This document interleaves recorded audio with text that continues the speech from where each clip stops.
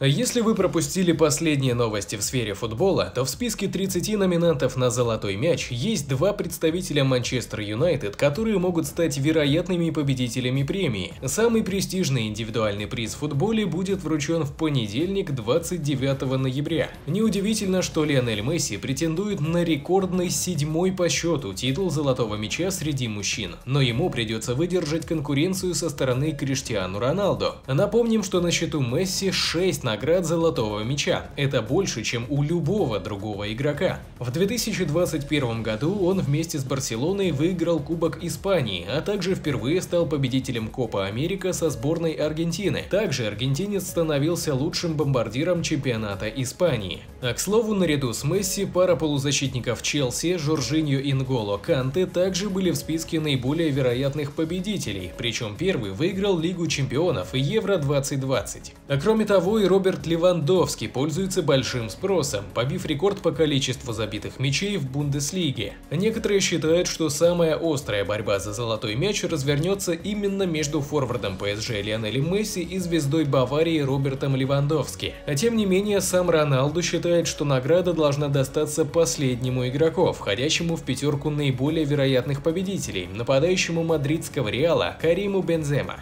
По его мнению, Бензема самый достойный из кандидатов на престиж престижную награду. Самый молодой в истории обладатель премии написал в Facebook. Без сомнения, мой кандидат на золотой мяч Бензема. Лучший нападающий, зверский уровень на протяжении 10 лет и чемпион прежде всего. Вы так не считаете? В отсутствии Криштиану Роналду Бензема в последние пару лет приобретает все большее значение для Лос Бланкос, становясь главным нападающим. Уход Серхио Рамоса летом, когда капитан клуба перешел в ПСЖ, еще больше усилил давление на плечи французского нападающего. 30 23-летний футболист забил 35 голов за клуб и страну в этом календарном году и помог Франции выиграть Лигу наций. Нападающий Реала Карим Бензема уже рассказал о стремлении получить золотой мяч. По его словам, этот трофей хотят все футболисты. Он с детства думал о получении этой награды, и если он хоть в какой-то степени к ней близок, то это благодаря партнерам. Кстати, испанское издание провело среди своих читателей голосование, в котором они выбрали главных претендентов на золотой мяч в 2020 2021 году. Победителем голосования стал именно Карим Бензема, представляющий мадридский Реал. Французский нападающий набрал 38% от общего количества голосов.